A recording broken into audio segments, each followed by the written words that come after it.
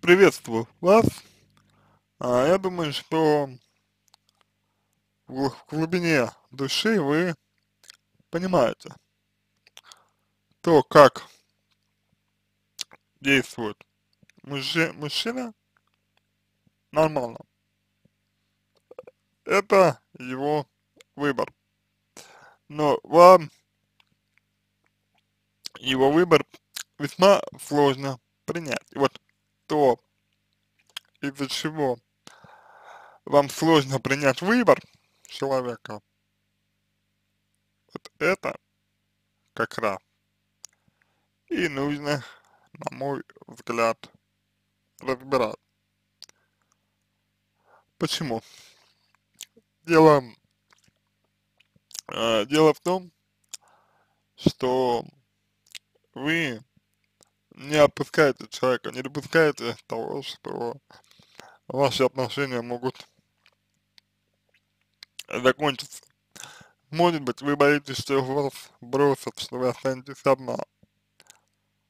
А, может быть, вы боитесь, что те цели, которых вы, вы хотите достичь, достичь не получится.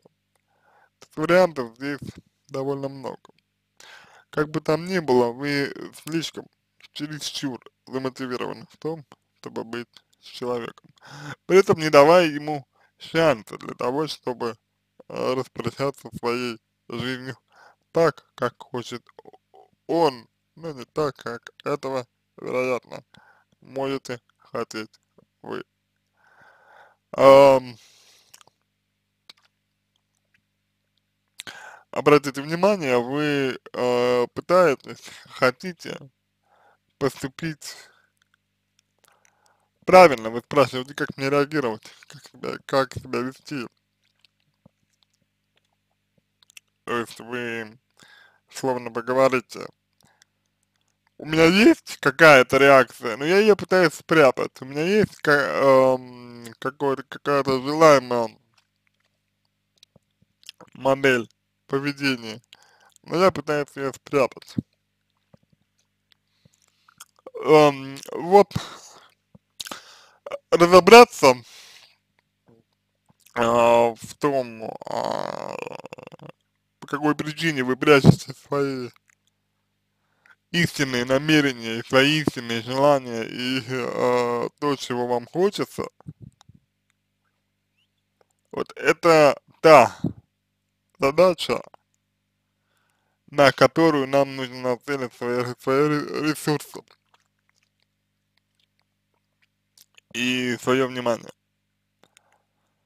Uh, вот, в принципе, то, что могу сказать.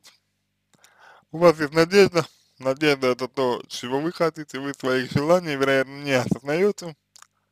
А, нужно с ними разобраться, чтобы вы были более свободны, более естественны в отношениях, а значит, более привлекательным. На этом все. Я надеюсь, что помог вам. Желаю всего самого доброго, удачи. Надеюсь, что ситуация будет разрешена.